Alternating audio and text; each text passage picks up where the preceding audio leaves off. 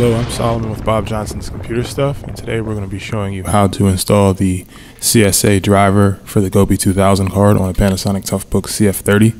One, first, what you must do is you must open your browser and go to this URL. I will link this URL in the description below.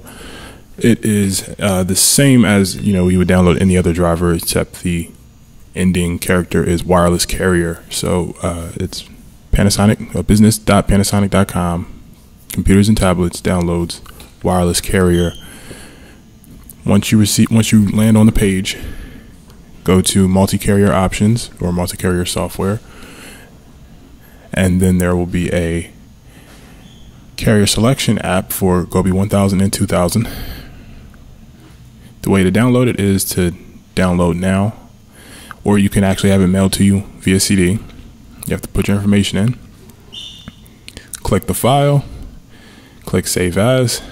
I'm going to be install. I'm going to be saving it in a folder in my drivers right now. Um, so you just save that, and then it's going to take a few minutes to download. It may vary depending on how fast your internet is.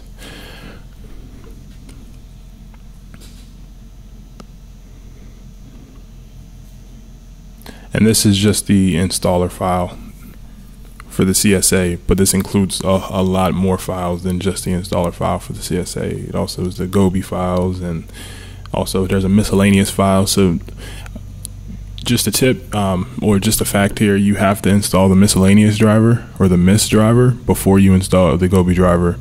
That's a requirement, and you also have to uninstall any other files or pre-install Gobi apps before beforehand. So uh, I'm going to put this on my desktop right now, the CSA folder, and then I'm going to take out the installer file and then put that right on my desktop too as well, then delete the CSA folder from before. Now I'm going to click on the installer, wait for that to boot up.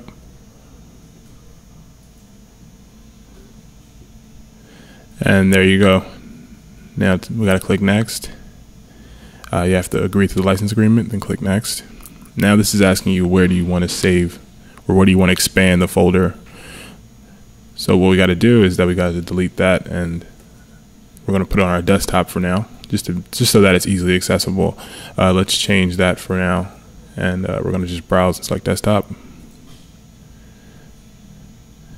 Okay, and then make sure that it's going to a folder labeled CSA, and then click next. Now, as it's extracting, you'll notice that the folder is going to be appearing on your desktop.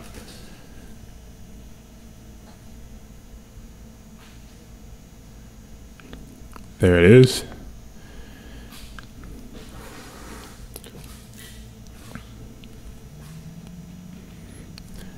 You know, this could take several minutes to to expand. So if it's not going very fast, don't worry.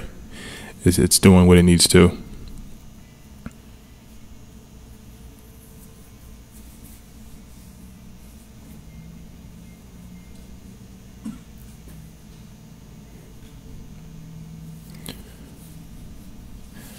And this is not a very very small amount of files. There are a lot of setup files in this folder including the MIS folder including the MIS uh, driver which should be already installed that I spoke about earlier.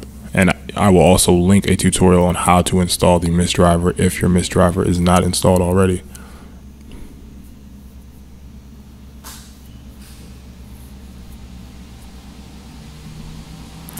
Okay, now that we've uh, expanded the folder, we're going to place it back in our drivers folder, which is util drivers. There we go.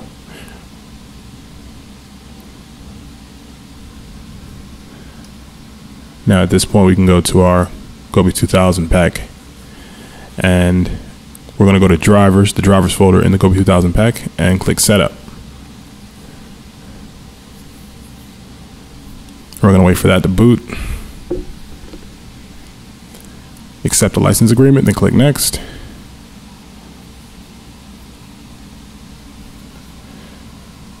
Now at this point, it's installing the Gobi driver on your CF31. This could take several minutes. I repeat, this could take several minutes.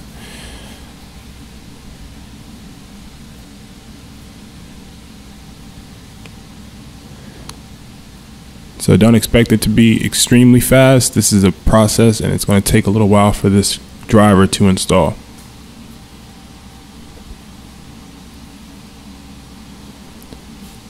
As you can see from the blip at the bottom of the screen, it's installing the driver software currently. So you are now installing your Gobi driver, your Gobi 2000 driver.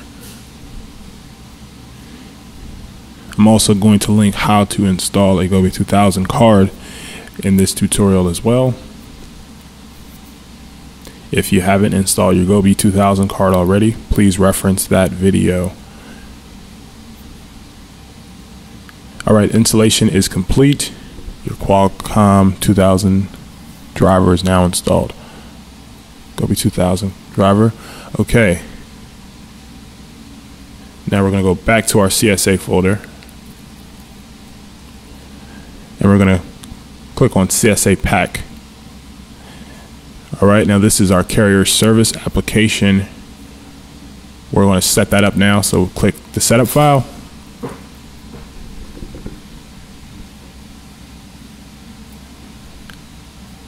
And wait for that to boot up. And there it is. Click next.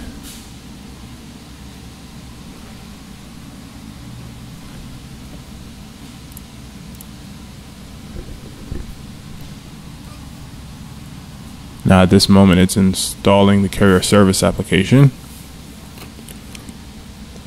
So this would take this will this can take up to several minutes as well. So don't expect it to be a super fast process. It takes a little bit of time.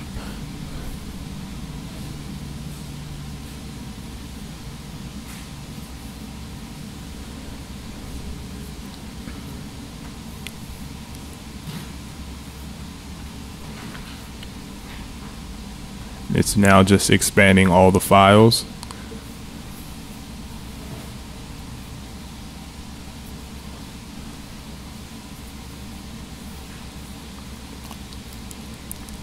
I repeat, this can take several minutes to complete.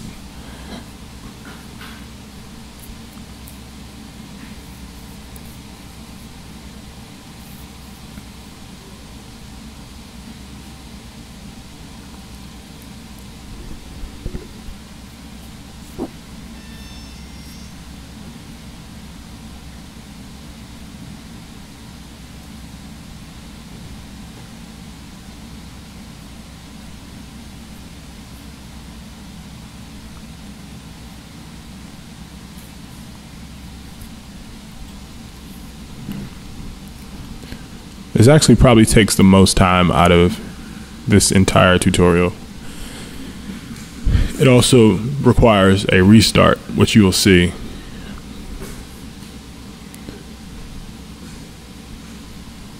So we're actually going to have to reboot the computer.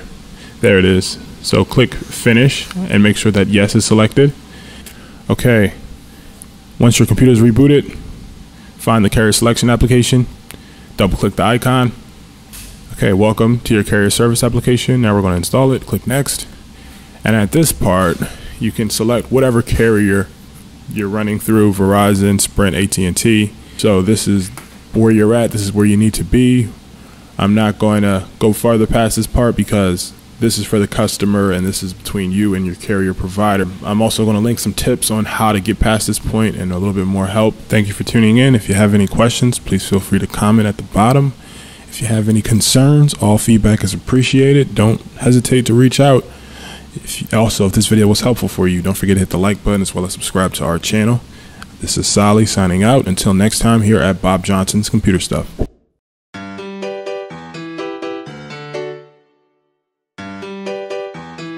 Thanks for watching today. For more repair videos, click the link below. And remember, if you have a screwdriver, you can fix a computer. Thanks for watching and don't forget to subscribe to our channel.